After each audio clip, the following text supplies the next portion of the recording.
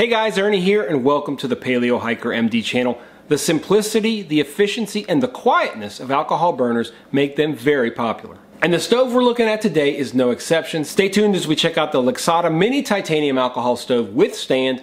Thanks for watching guys.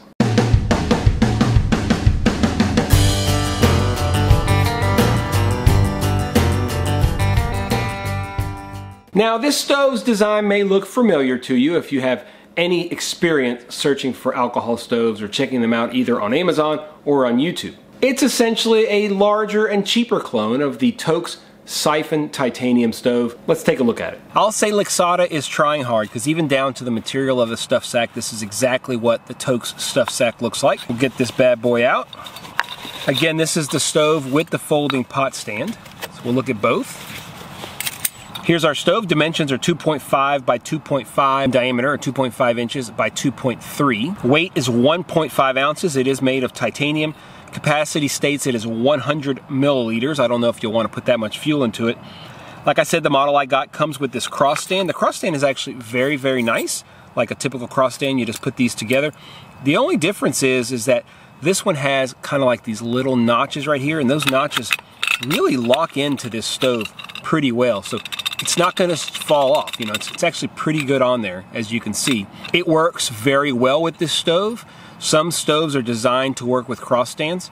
Um, you will see in my video comparing this with the Toaks that the Toaks doesn't work as well with a cross stand, just FYI. Cross stand is 3.8 across and 1.5, so it's a 3.8 across as far as the diameter goes. The weight of the cross stand is 0.9 ounces. The total cost for both of these is a very impressive $17.99 on AliExpress plus a few bucks shipping. I ordered it and it took 11 days after ordering for it to get to me from China. It's on Amazon for about $30 if you don't want to wait. Really nice stove as you can see. Zoom y'all in a little bit, take a better look. Show you the, see it locks on there pretty good. Show you the inside. You can see the jets right there. This is basically a siphon type stove. Put the alcohol in there and it's got these little ports in here. It's siphon action comes up and it shoots out the jets. Let me show you guys how quickly it starts up, what the jets look like at night, and then we'll boil some water. Here we are with the Lixada alcohol stove with the cross stand. You'll see that it primes pretty quickly. There we go.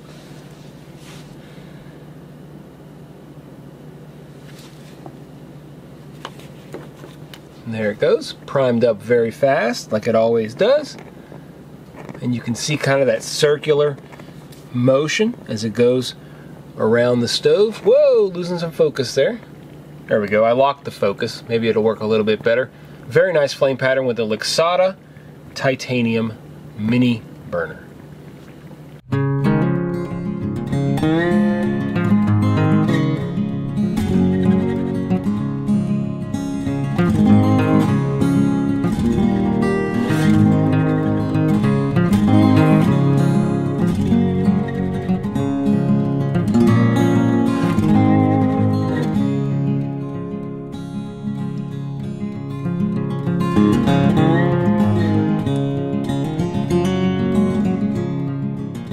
So a very impressive boil time of 6 minutes 28 seconds and a burn time of 8 minutes 24 seconds. What do I think about this stove? I have to be honest with you guys, I really like this stove.